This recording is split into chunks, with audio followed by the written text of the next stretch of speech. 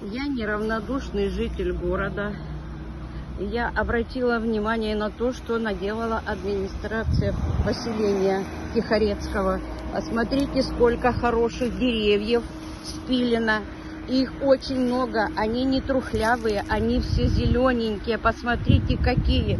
Это сколько загублено деревьев, сколько было бы кислорода.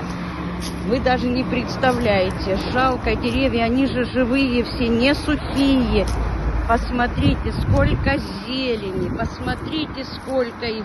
Раз, два, три, четыре, пять, шесть, семь, восемь, девять, десять, одиннадцать, двенадцать, тринадцать, четырнадцать, пятнадцать, шестнадцать, семнадцать, восемнадцать, девятнадцать, двадцать, двадцать один, двадцать два, двадцать четыре дерева.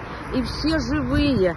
Уважаемая Строканева, вы почему не обращаете на это внимание, когда в сельском поселении э, станицы Алексеевской просто пересаживали ели. Вы это быстренько все опубликовали, подняли шумиху, э, вот просто на ровном месте. А здесь, смотрите, что происходит. Неужели вы равнодушно оставите это все? Надо как-то отреагировать на это. Просто жаль деревья, очень жаль. Посмотрите, бесконечный ряд лежит. Пожалуйста, реагируйте, отзывайтесь. Давайте что-то будем делать. Так весь город вырубят нам.